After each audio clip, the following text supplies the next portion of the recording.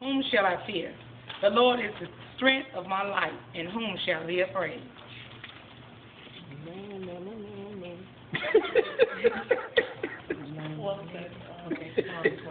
For he shall give his angels charge over thee, to keep thee in all thy ways. Psalms ninety-one and eleven. Now, Hebrews thirteen five. Let your conversation be without covetousness.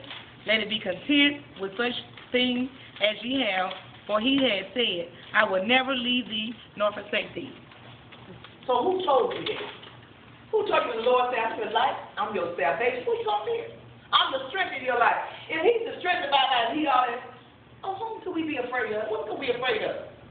He said, I'll be afraid of these things. And then Psalms 91 11 tells us that his, he gives his angels charge over us to keep us in what? Some way. Oh! Our way. Whatever we go through, the angel of the Lord comes around about them that fear him. He encamps about us. He's concerned. He cares. And the enemy is a liar because he can't tell the truth. And some things we hold on to, Pastor, that we need to dismiss. I found that I need to dismiss some stuff. Just dismiss it. Because the enemy will throw stuff at you. Yeah, yeah. And he, he'll come hidden. Mm-hmm. He'll come in your sister, your mm-hmm. brother, your mama, your daddy, your spouse. He don't care. He'll come. He's a he's a persuader. He mm-hmm. tries to persuade. Yeah.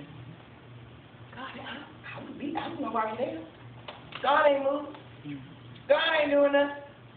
God is always moving. Yes.